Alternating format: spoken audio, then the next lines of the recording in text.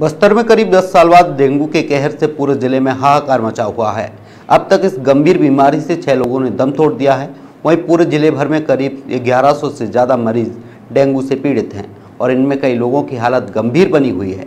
वहीं शहर में रोज़ाना 50 से अधिक मरीज़ डेंगू से पॉजिटिव मिल रहे हैं। ऐसे में मरीजों को सबसे ज़्यादा ज़रूरत प्लेटलेट्स की पड़ रही है और इसकी मांग इतनी बढ़ गई है कि लोगों को निजी पैथोलॉजी में दो दो दिन तक का इंतज़ार करना पड़ रहा है। मामले को लेकर स्थानीय लोगों का कहना है कि प्लेटलेट्स की कमी की वजह से मरीज़ की तबीयत और बिगड़ती जा रही है। ब्लड डोनेट करने वालों की कमी हो गई है।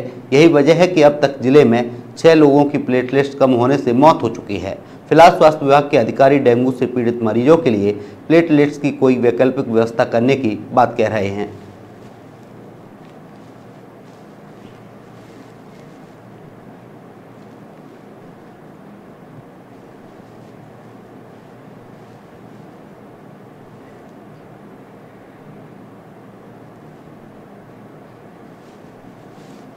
बस्तर में जिस हिसाब से डेंगू का प्रकोप बढ़ रहा है, वो बहुत ही खतरनाक रूप ले चुका है।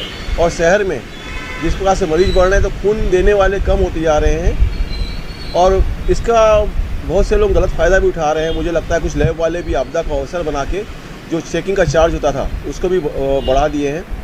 ऐसे ही मरीज़ परेशान रहता है, उसको और परेशान किया जाना मैं उचित नहीं समझता हूँ। कुल अभी तक ग्यारह सौ बावन केस आए हैं और इसमें लगातार जो है लोग अभी स्वस्थ हो रहे हैं और जा रहे हैं। और इसमें जो कुल कैजुअलिटीज़ हुई है अभी तक, कुल छः कैजुअलिटीज़ हुई है जो हमारे कन्फर्म्ड आए हैं।